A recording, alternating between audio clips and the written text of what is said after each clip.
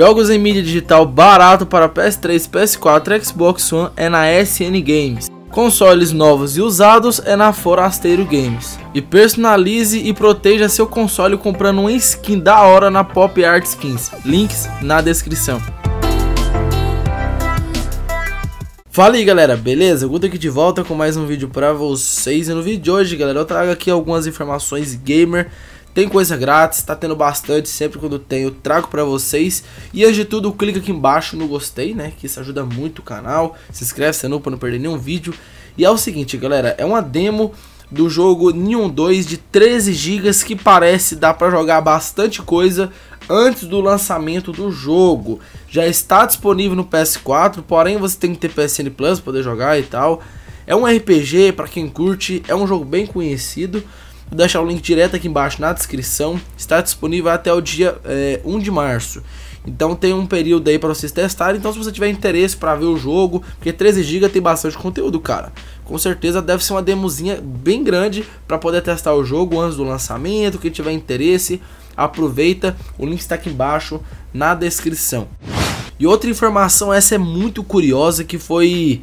É, a gente não sabe se é um novo jogo, alguma coisa que a Rockstar está querendo esconder, que tá um mistério, que ela publicou umas imagens misteriosas no seu site aí e tal, e Twitter e tudo mais. Cara, se liga só, primeiramente essa imagem aí, ó, é, que foi publicada dia 26 de fevereiro, que mistura um futurismo dos anos 90 de um jeito bem é, irreverente, né, no caso, que registra a marca da empresa ou algo assim, pro material do ano 98. Mostra uma imagem futurista, até com um Chandon ali do lado, champanhe na verdade. Cara, e é muito curioso. E o mais curioso de, todo, de todas é essa imagem aí, cara. É uma imagem de ilustração da logomarca com uma espécie de retalho. Que no caso tem bastante números e letras. Que intrigou bastante a galera, cara. É, a imagem conta com frases tipo de Killing on Dreams, Murdering Hup, é, Fight the Hyteos, eu não sei pronunciar muito bem o nome desse game, e o Bully the Week.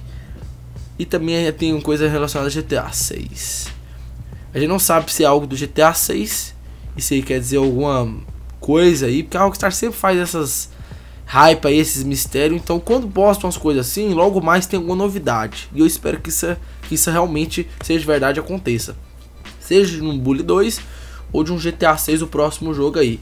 Tá bem curioso isso aí, cara. Mais misteriosa, com um monte de coisa, um monte de informação, um monte de letra. Eu não sei não, cara. Isso aí tá parecendo algum tipo de curiosidade, algum tipo de easter egg que a Rockstar tá, tá tipo assim, repassando pra galera ficar na dúvida, né?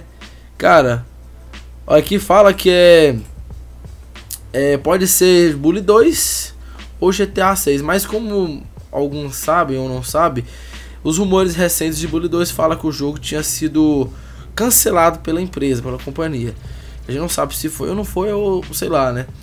Eu espero que não, cara, que não é possível. Bully 2 é um jogo que eu espero uma continuação ainda.